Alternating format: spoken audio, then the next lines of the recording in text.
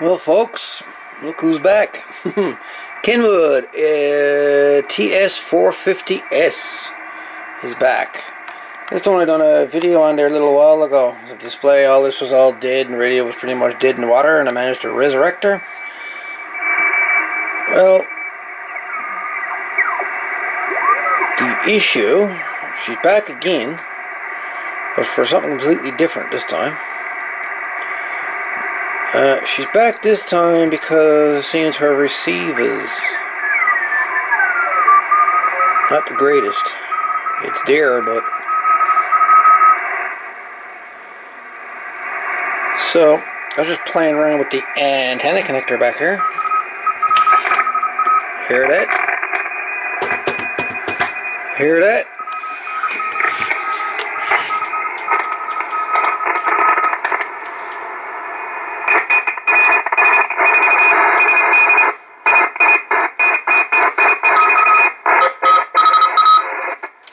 That?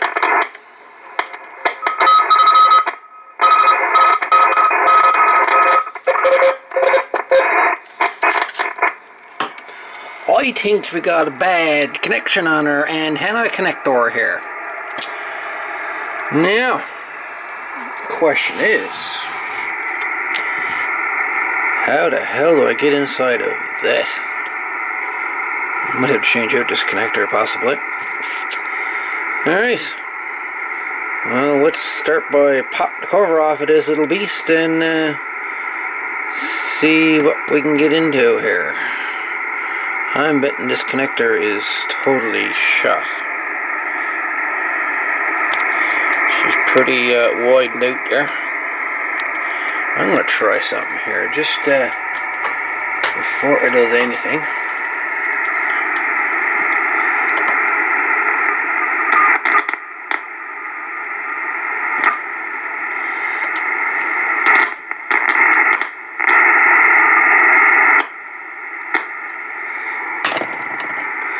See closing them together.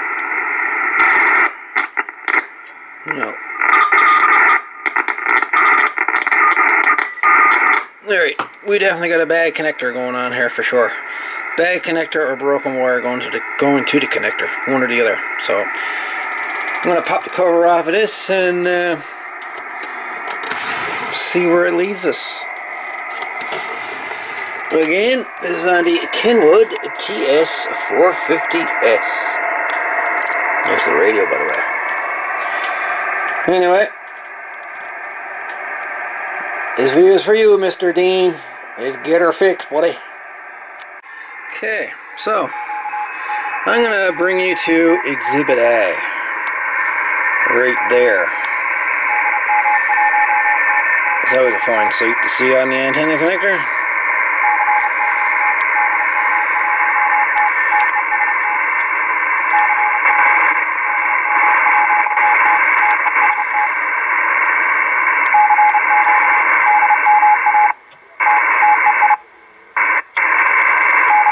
We've got a bad connection going on here.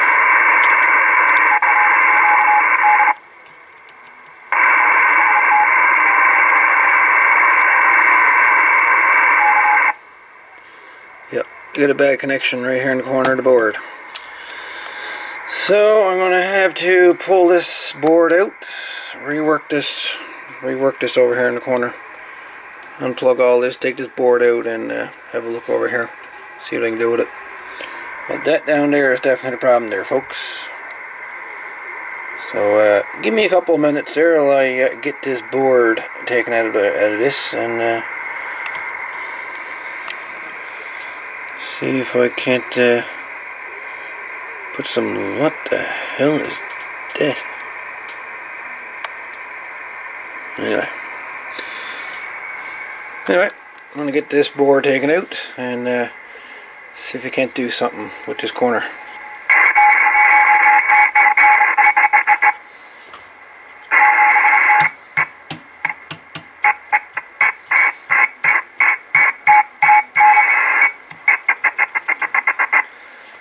Yep, definitely there.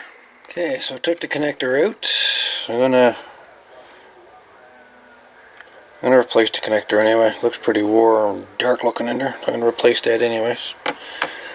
But uh, as soon as I removed the board, I noticed uh, Exhibit B uh, pop right out of the board. So there's a cold solder joint on that.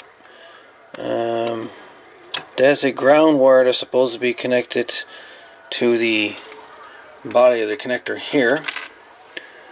And uh, yeah, and there's supposed to be a wire going from the connector to this point right there. So I got to uh, a small length of wire and hook that up, put a bit of wire there, put another piece of wire into here, and make a couple little jumpers. So when I put the connector back on, I can just solder the wires onto where they gotta go, and everything will be nice and nice and uh, nice and happy like. This solder joint right there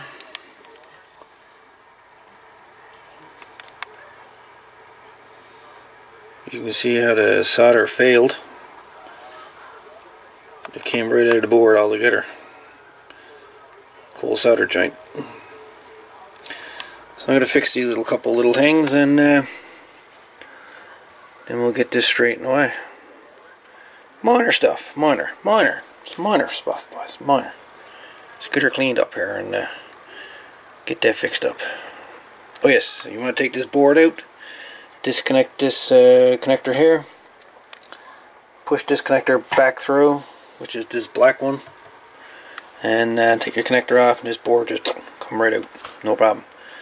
Disconnect a couple little plugs or whatnot but nothing nothing too serious. Anyways let's uh, enough talking. Let's get this uh, let's get this going. Alright so I replaced the old uh, SO239 that was on there I put a put a fairly new one on there the head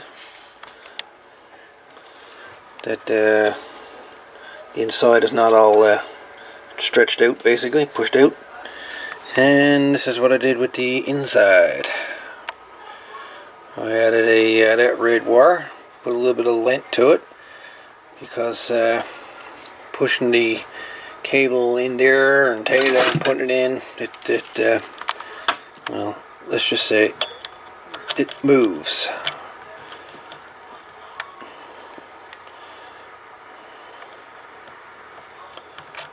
As you can see. So he needs a little bit of uh, slack back there. So I got that put in. I've got the uh, bulb or diode or whatever that is put in there. I got the ground reconnected. So now we're going to put the cover back on her and give her a try and see what she feels like. Bet she's going to work 100% there now. Way better than it did.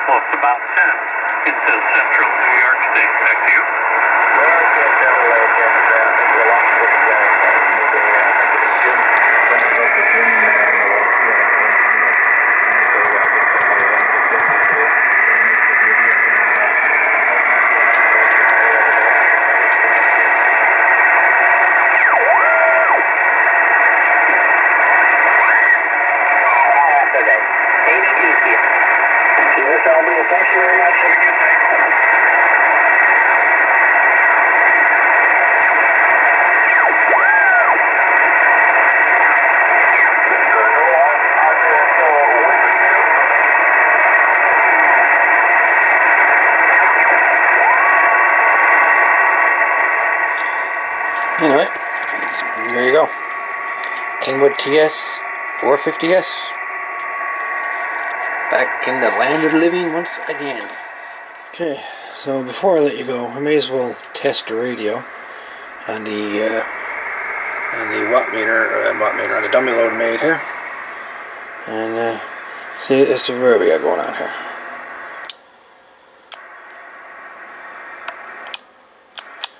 No, no Western River. Power is 100 watts. Yeah, so. And she's drawing a hefty. And the 100 watt she is drawing.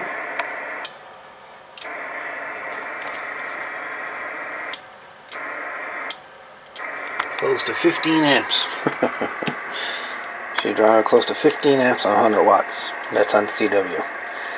Anyway, folks, again, that's into a dummy load, not into an antenna, so relax. Anyway, folks, I'll say 73 again. Chat later. Serena 63. I'm out of here.